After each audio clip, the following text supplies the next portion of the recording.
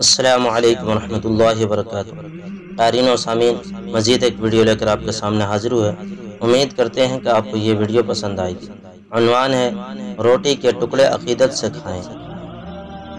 एक बुज़ुर्ग गुजरे हैं, जिनका नाम था अब्दुल अज़ीज़ रहमत उनका ताल्लुक़ एक अल्लाह वाले साहिब नस्बत बुज़ुर्ग के साथ था।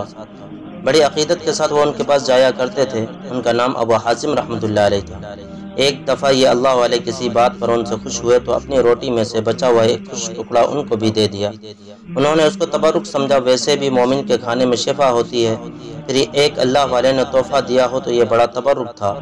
हज़रत अब्दुल अज़ीज़ रहमत इस टुकड़े को लेकर घर आए।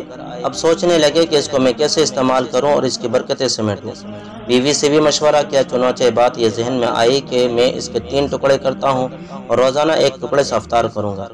यह इसका बेहतरीन हल है। चुनाचे दिल में अदब था, नेकी थी, उन्होंने ऐसा ही किया।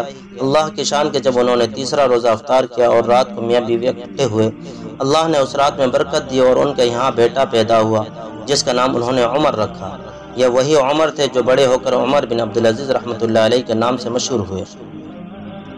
जब शेख की रोटी के टुकड़े अकीदत व महब्बत के साथ खाने में यह असर हो तो उनकी बातों को अकीदत व महब्बत के साथ सुनकर उस पर अमल करने का क्या असर होगा?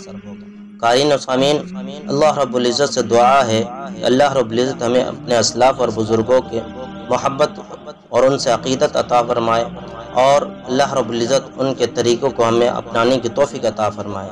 जजाकल्ला खैर जजा